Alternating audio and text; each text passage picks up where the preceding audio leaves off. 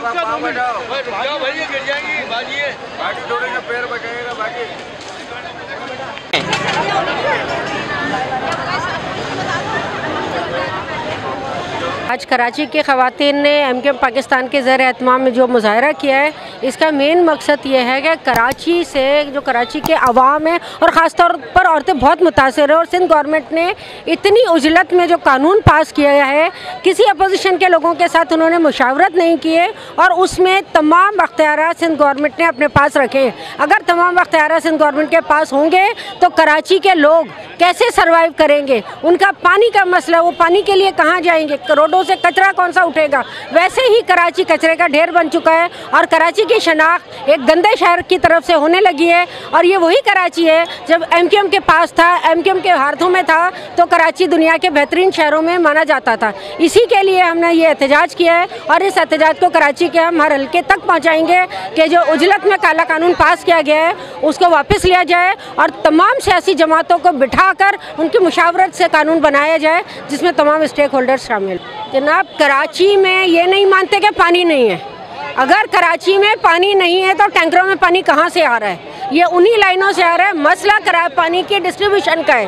वो तमाम लोग, उन्होंने, इन्होंने जो इनके बासर गुजरा हैं उनके जो लोग हैं, उन्होंने हाइड्रेंट्स बना रखे हैं। क्या जो वो पूरे सिंध की बात करते हैं, उनको कराची में हाइड्रेंट्स नज़र नहीं आते हैं? उन हाइड्रेंट से वो कराची में पानी बेचा जा रहा है। कराची के अवाम पूरे अपना बिल भी देते हैं। पानी का बिल देते हैं सेवरेज का बिल देते हैं, लेकिन उनको, उनके बदले में क्या मिलता है?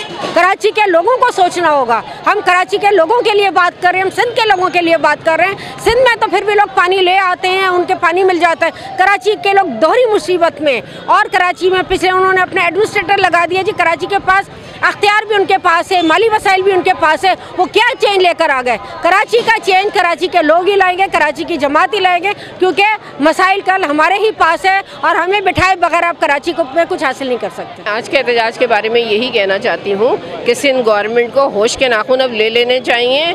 बहुत हो गई करप्शन बहुत हो गई लूट मार बहुत बर्बाद कर दिया।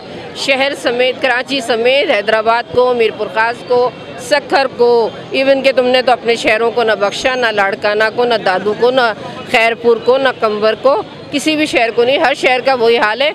रोड, सड़कें जो मेन बना दी हैं, उसके मतलब ये नहीं है। धोखा तुम और लोगों को दे सकते हो। आवाम अब बहुत समझदार हो गई है। सोशल मीडिया ने आवाम को बेदार कर दिया है। अब आप कहाँ जाओगे, किस जगह पे जाओगे? ये सोचो कि आपके लिए रास्ते कहाँ से आएँगे। होश के नाखून ले लें सिंध गवर्नमेंट और आवाम को वो सहूलियात दें जो दी जानी है। ये नहीं उनका हक ना मारें, उनका हक ना मारें, खुदारा।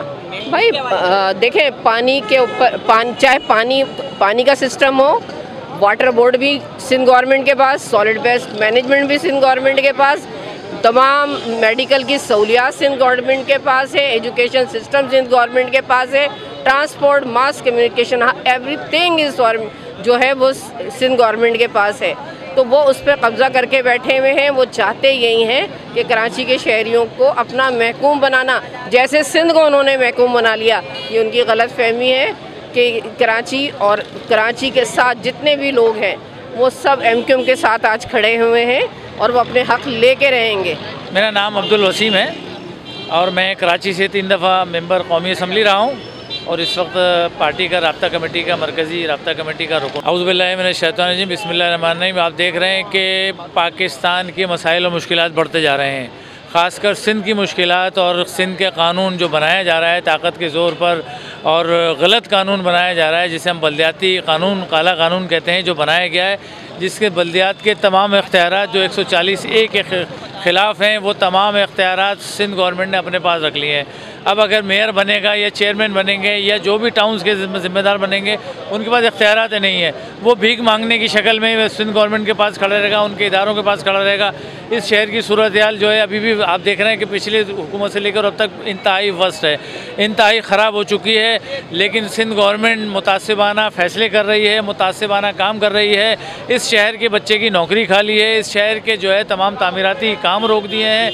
इस शहर में पीपल्स पार्टी का जो है वो एडमिनिस्ट्रेटर बिठा दिया गया है, जबकि होना ये चाहिए कि एक न्यूट्रल आदमी जो है बिठाया जाए ताकि इलेक्शन जो है शफाफ हो सके। हमें तो इलेक्शन की शफाफियत पे भी वो है, लेकिन हम ये कहते हैं कि देखें, हम किसी कौम के या किसी की नौकरी को किसी खिलाफ नहीं है, जो जिसका हक उसे दिया जाए।